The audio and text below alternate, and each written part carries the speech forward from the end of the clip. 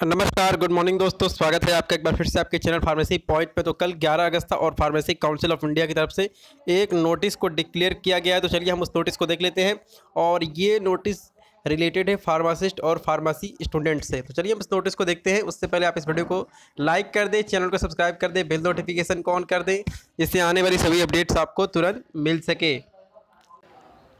तो आप इस नोटिस को यहाँ पर देख सकते हैं, ये फार्मेसी काउंसिल ऑफ़ इंडिया है और यहाँ पर डेट लिखी हुई है 11 अगस्त 2021 यानी कि ये नोटिस कल डिक्लेयर किया गया है, यहाँ पे बिल्कुल क्लियर लिखा हुआ है। और यहाँ पे फार्मेसी काउंसिल ऑफ़ इंडिया का email ID, website, telephone number और बाकी सब चीज़ें लिखी गई हैं। तो आप यहाँ पर सब्जेक्ट देख सकते हैं। सब्जेक्ट यहाँ पे क्या लिखा हुआ है? सब्जेक्ट लिखा हुआ है, to display and unauthorize use of medical diagnostic devices.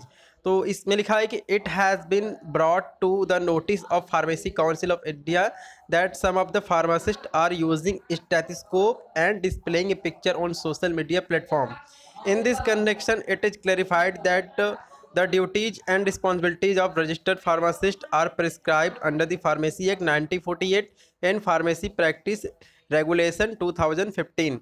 Hence, all the registered pharmacists are requested to strictly follow the provision of Pharmacy Act 1948 and Pharmacy Practice Regulation 2015.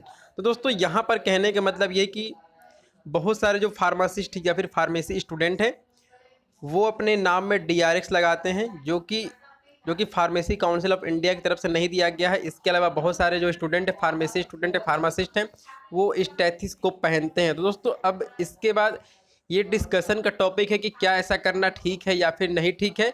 लेकिन ये फार्मेसी काउंसिल ऑफ़ इंडिया की तरफ़ से एक notice को declare किया गया है और उसमें ये सारी बातें कही गई हैं। तो दोस्तों, आपकी इस टॉपिक पर क्या राय है?